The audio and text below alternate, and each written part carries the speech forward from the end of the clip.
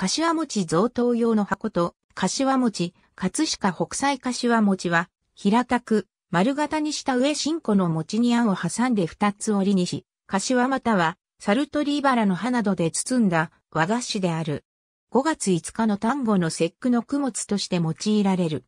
柏の葉を用いた柏餅は、徳川九代将軍家中から十代将軍、家春の頃、江戸で生まれた。柏の葉は新芽が育つまでは古い葉が落ちないことから、子孫繁栄という縁起を担いだものとされる。江戸で生まれた単語の節句に柏餅を備えるという文化は参勤交代で日本全国に行き渡ったと考えられているが、1930年代頃までは柏の葉を用いた柏餅は関東が中心であった。柏の葉でくるむものが生まれるより前に去る鳥バラなどの葉で包む餅が存在し、柏の樹勢が少ない地域では、これが柏餅として普及していた。その後韓国や中国から柏の葉が輸入されるようになったこともあり、柏の葉でくるむ柏餅が全国的に主流となっている。なお、柏の字は本来は、ヒノキ科の針葉樹この手柏を指す漢字で、この手柏は、柏餅に使う葉とは全く異なる。柏餅に用いる、ブナカの柏には、厳密には、柏の字を使うのが正しい。餡の種類は、粒餡、こし餡がポピュラーであるがその他、味噌餡も用いられる。京都では、白味噌餡を用いているところもある。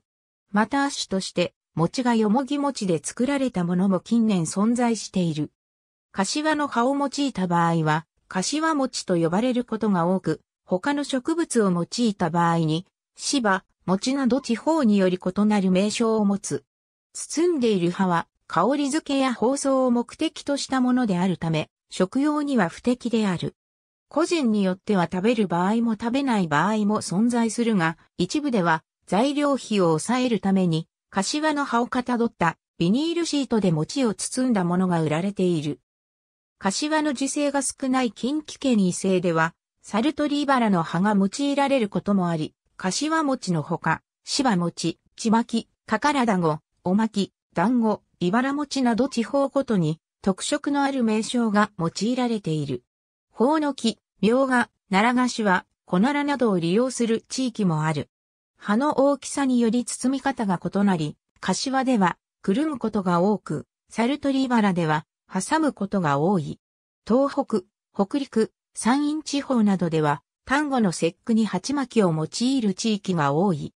兵庫県高砂市の鹿島神社の名物として通年販売され、柏餅を製造販売する店が参道に何軒かある。ありがとうございます。